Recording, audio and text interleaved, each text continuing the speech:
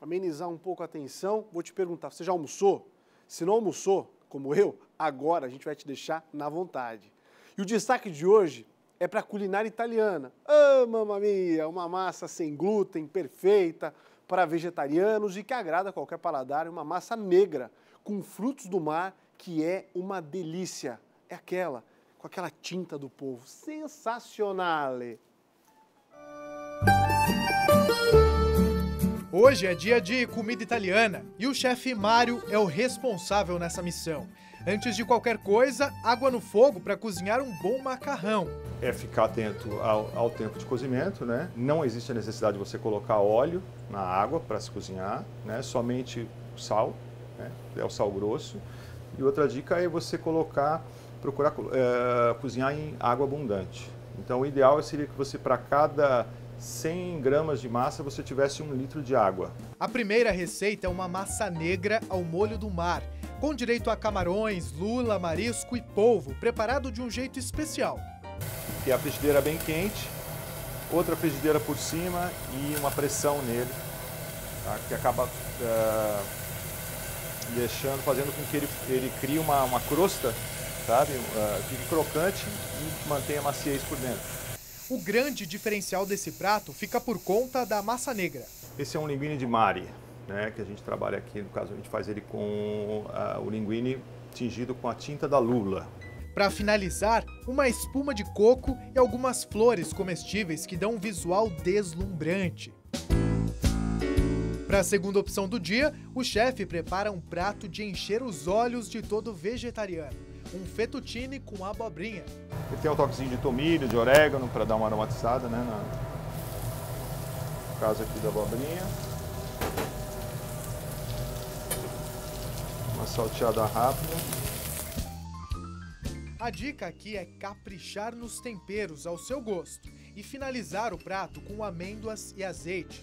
Mas calma, antes de provar essas delícias, tem uma salada caprese para ser preparada. As folhas de rúcula com tomate cereja e a mussarela de búfala ganham um sabor especial com o molho pesto. Bom, a salada caprese é uma salada popular, né?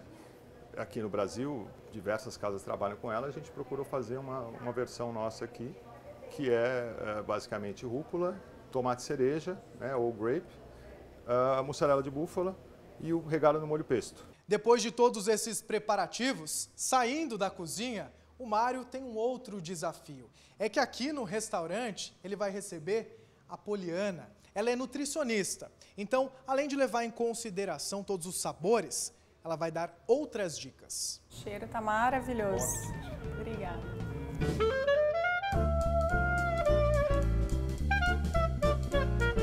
Esse prato achei fantástico, porque ele tem uma combinação interessantíssima, né? A massa que é tingida, o polvo que é super saudável, é, o camarão, é, a espuminha de coco que é super saudável, que deu um toque, toque final e é uma opção super saudável.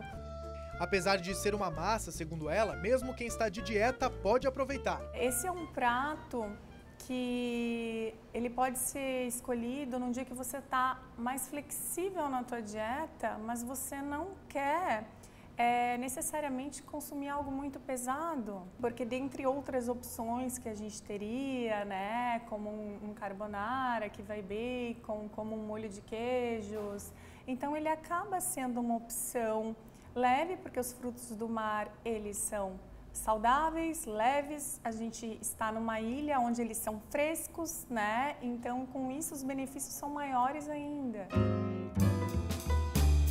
Fim da garfada e vamos para o segundo menu. Salada caprese acompanhada de fettuccine. Essa massa ela é sem glúten. Então, mesmo que você não seja alérgico ao glúten, o glúten ele tem um perfil inflamatório. Então, se você tiver a opção de escolher um prato sem glúten, uma massa sem glúten, você vai estar fazendo uma escolha melhor. Os outros itens desse prato, como o tomate até as castanhas, merecem destaque na sua alimentação. O tomate, quando ele é aquecido, ele tem suas propriedades multiplicadas. E a principal propriedade do tomate é que ele é riquíssimo em licopeno, que é um potente anticâncer, principalmente de próstata. A amêndoa é fantástica Porque numa quantidade, por exemplo, como veio nesse prato de amêndoa, a gente consegue ter pelo menos 30% das nossas necessidades de cálcio. Riquíssimo também em magnésio e fósforo, fundamentais para a saúde dos ossos. Esse prato também está harmonizado com alho, que é anti-inflamatório, é maravilhoso, além de agregar sabor. E a Poliana passa uma dica final para quem quer sair da mesa sem arrependimentos. Ah, eu tenho uma dica final que eu particularmente sempre uso que é um shotzinho de limão. A gente tem aqui um limão espremido e o limão ele tem a característica de além de digestivo, ele é depurativo, então ele ajuda no processo de desintoxicação no organismo.